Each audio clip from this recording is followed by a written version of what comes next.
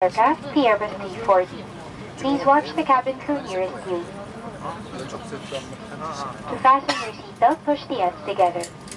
To tighten, pull loose end of the strap. To loosen, tilt buckle and pull. To unfasten, lift top of buckle and pull free and release.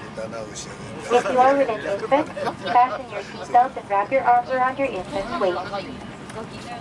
Your life vests are found under your seats or in the middle of your armrest. On a water landing, remove sharp objects from your body. Slip vest over your head. Take tape around your waist. Push end to buckle. Pull waist tape to tighten. When outside the aircraft, pull down sharply the two inflation cords at the lower end.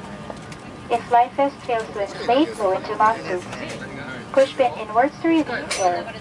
Do not inflate your life vest inside the aircraft. The lamp will automatically activate when the battery is immersed in water. In the unlikely event that emergency oxygen is required, oxygen masks will drop from above you. Immediately grab the mask and pull firmly towards you. Put over your nose and mouth. Pull elastic band for a snug fit and breathe normally. Keep mask on until your advice it. If a child or other passengers near you would need assistance, Put your mask on first before assisting them. The emergency exits are clearly marked throughout the cabin. Locate the exits nearest you. These exits may be behind you.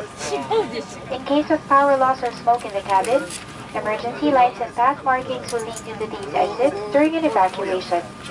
And for further information, please study the safety card found in the seat pocket in front of you.